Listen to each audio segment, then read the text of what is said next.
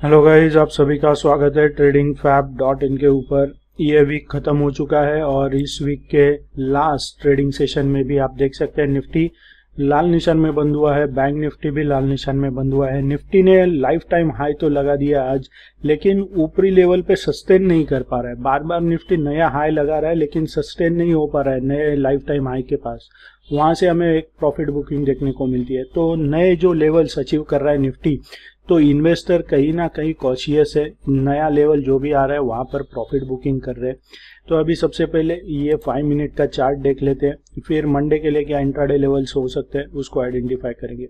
तो ये रहा आज का फाइव मिनट का चार्ट निफ्टी का कुछ इस तरह से देखने को मिल रहा था। सुबह ही इसने लाइफ टाइम हाई लगा दिया twenty three six six seven का आज, लेकिन सस्टेन नहीं हो पाया। आप देख सकते सेकेंड टारगेट के पास ही एग्जैक्ट ओपन हुआ था। रजिस्टेंस लिया, नीचे आया। ब्रेकडाउन लेवल ब्रेक किया। फ़र्स्ट टारगेट के पास यहाँ पर पहले तो सपोर्ट लिया। दोबारा से जब टूटा breakdown level first target second target दोनों भी अचीव्ड हुए।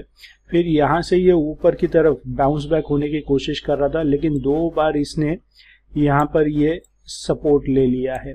तो यहाँ पर कहीं ना कहीं ऊपरी लेवल पे निफ्टी नया हाई तो लगा रहा है, लेकिन सस्टेन नहीं हो पा रहा है। और वहाँ से प्रॉफिट बुकिंग आ रही है।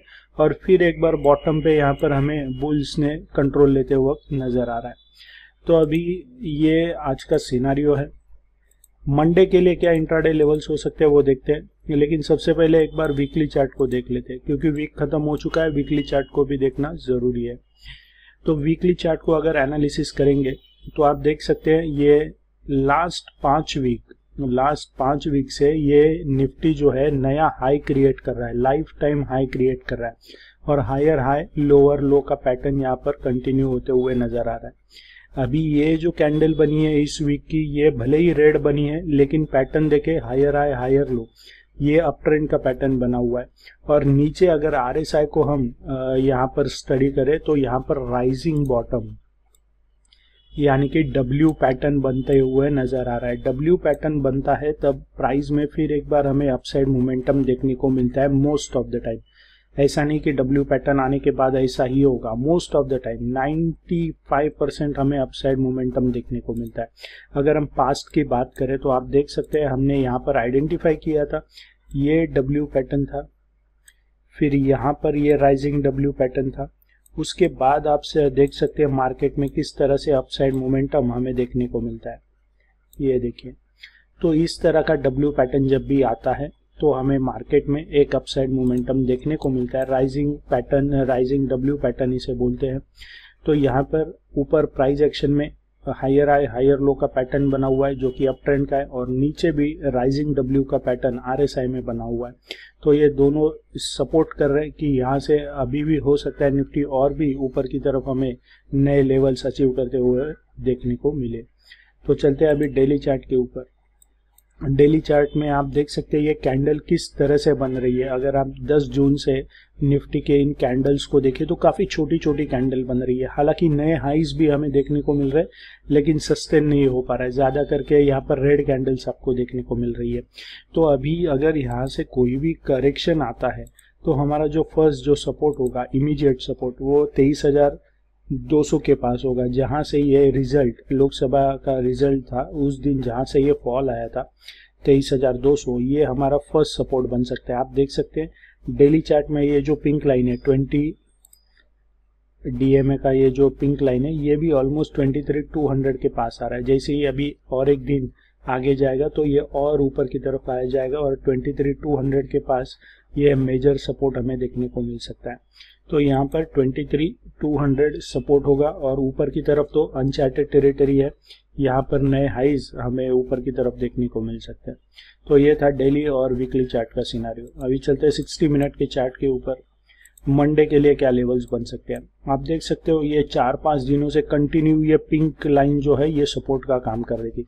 बार बार इसको आके ये टच कर रहा था पेनेट्रेट कर रहा था और जस्ट इसके ऊपर आके क्लोज हो रहा था। लेकिन आज देखिए इसने इस पिंक लाइन को तोड़ दिया और पिंक लाइन के बाद सपोर्ट किसने किया सपोर्ट का काम किसने किया है? तो ये ब्लू लाइन जो कि 50 एम का लाइन है। तो यहाँ पर अभी ये शॉर्ट टर्म और मिड टर्म मूविंग एवरेजेस के बीच में ट्रैप हो चुका है। तो जब तक इन मूविंग एवरेजेस के बीच में रहेगा हमें यहाँ पर ट्रेंड नहीं दिखाई देगा। यहाँ पर साइडवेज मार्केट हमें देखने को मिल सकता है।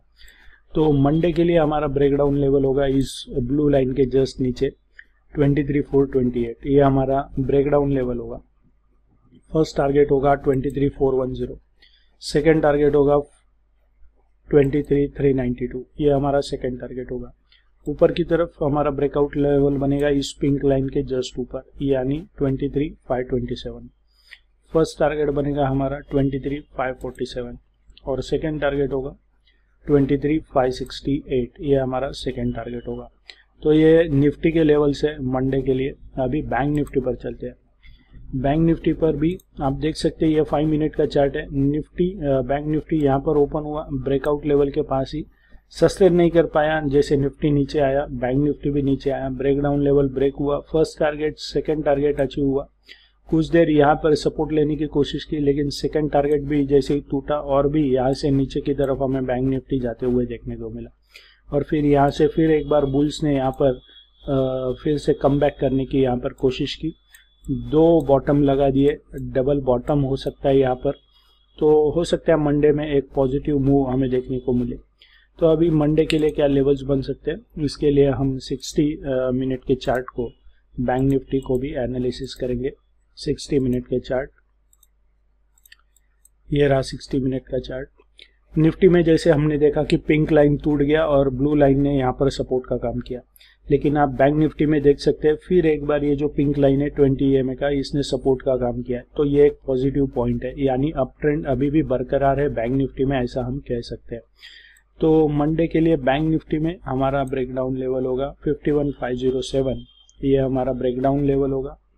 फ़र्स्ट टारगेट बनेगा अराउंड 51434 और सेकेंड टारगेट बनेगा 51360 ये हमारा सेकेंड टारगेट होगा। ऊपर की तरफ़ अगर बैंक निफ्टी आता है तो हमारा ब्रेकआउट लेवल होगा अराउंड 51825 ये हमारा ब्रेकआउट लेवल होगा।